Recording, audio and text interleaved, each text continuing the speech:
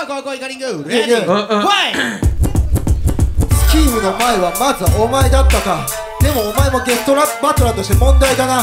図体の割には存在感薄すぎるゲストバトラーの方がよっぽど問題だと思うんだけれどもな。お前はダッセー色物俺はかっこよすぎる色物そこだけを目指しているが。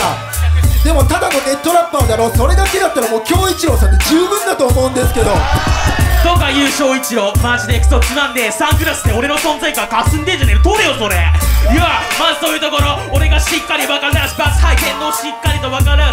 よ俺がデブつまりは低反発枕ぽよんぽよん。よクラブの前警官がうじゃうじゃ。いやいややばすぎるぜこの状況。俺がしっかりゲストとして。かましてんのしっかり感じてくれや。俺さっき言ったワンバーそのまま刺さってるだろ。う脱製も色物そのままもう刺さってるってこと。だから京一郎さんもう代わりはいくらでもいるのでお前がデブの YouTuber それはどういうのか教えてくれ。わざわざネットラップするのか。それは自分のオナニーと変わらねえんじゃねえかな。お前みたいな臭い体臭を持ったデブ野郎はもう秋葉原の住人だけで十分だぜ。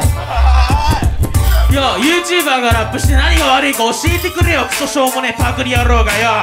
こっちはオリジナル突き通してやってんだよそういうところ。お前なりの筋っていうのはそういうもんかよ。いやいやクソしょうもねえ。こいつさっきからラグナロク。髪ついてるかもしれねえけど残念だね。